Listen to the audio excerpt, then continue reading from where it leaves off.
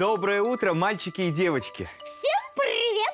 Каркуша, какая ты сегодня нарядная. Ну, ну я же иду на праздник птиц. Лесной карнавал. Я знаю, Каркуша. Я собираюсь вместе с тобой. Вместе? Ну, но тебя не пустят. На празднике могут присутствовать только те, у кого есть клюв, крылья, ну или хотя бы хвост. Хм. Ну, ни того, ни другого у тебя нет. Ну, это пока нет, но я уже кое-что придумал.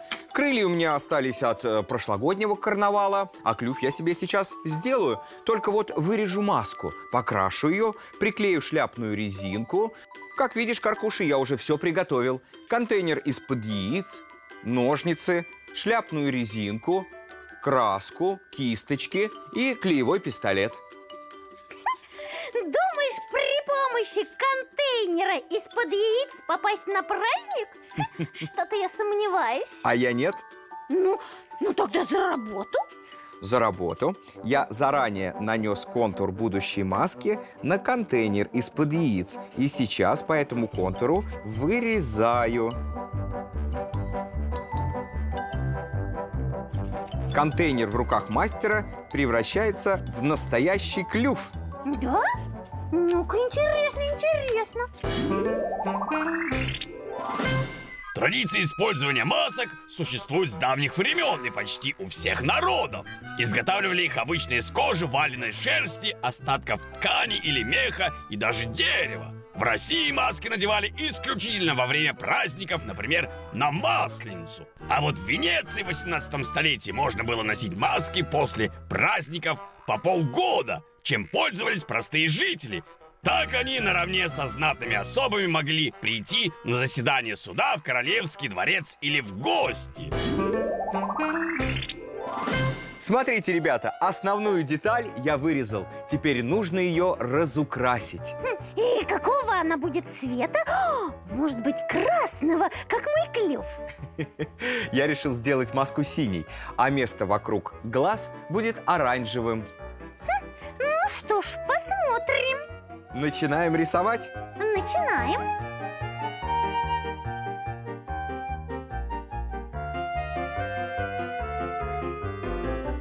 Аккуратно наносим краску.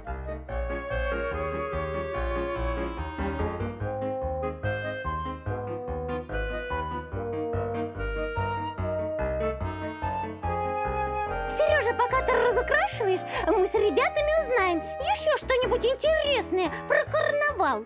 Отличная идея.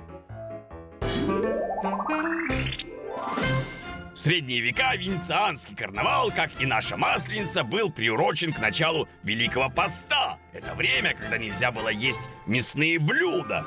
Вот откуда появилось и само название праздника – карнавал. Дословно оно значит «мясо прощай». Длится венецианский карнавал больше двух недель. И есть у него ежегодная обязательная программа, главной частью которой является финальный конкурс на лучшую маску и лучший костюм фестиваля. Маска разукрашена, и ее уже можно примерить. Секундочку, Каркуша, проверю, высохла ли краска. Ага. Да, высохла. Ну? Ну, как я смотрюсь? Восхитительно! Какаду из Катманду. Прошу любить и жаловать. Каркуша, ну ты и выдумщица. Я что, действительно похож на попугая? Ты похож на птицу неизвестной породы. Привязывай скорее резинку и пойдем. Тебе еще крылья гладить и прическу делать. Секундочку, Каркуша. Завязываю узелок с одной и с другой стороны.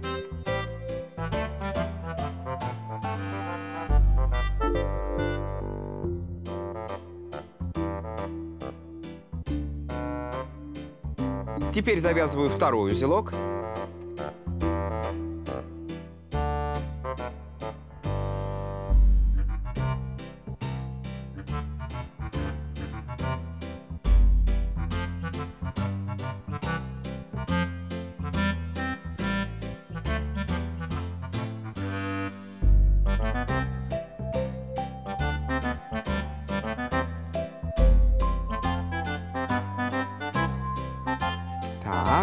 Готово. Так, лишнее отрежу. Завязал оба узелка. И примерим маску.